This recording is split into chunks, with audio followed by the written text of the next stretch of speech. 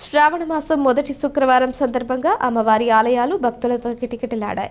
శ్రావణ మాసంలో అత్యంత భక్తి శ్రద్ధలతో అమ్మవారిని పూజించే రోజు శుక్రవారం. ఈ మాసంలో వచ్చే శుక్రవారాల్లో మహిళలు వ్రతాలు జరుపుకుంటారు. మొదటి శుక్రవారం కావడంతో మహిళలు ఇళ్ళ వద్ద అమ్మవారికి పూజలు నిర్వహించి ఆలయాలను దర్శించుకున్నారు.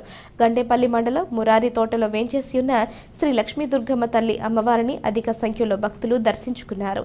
గండేపల్లి మురారి తదితర ప్రాంతాలకు చెందిన భక్తులు అధిక సంఖ్యలో అమ్మవారిని దర్శించుకోవడంతో ఆ ప్రాంగణమంతా భక్తులతో కిటకిటలాడింది. అలాగే నియోజకవర్గంలోని అన్ని అమ్మవారి ఆలయాలను భక్తులు దర్శించుకున్నారు.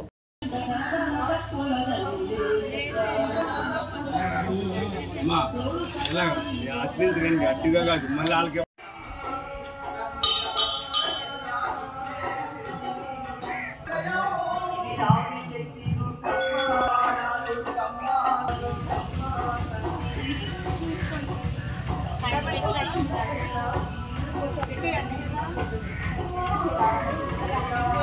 ఇక్కడ ఉన్నారు ఇందులో వల్ల లేట్ అయిపోతుంది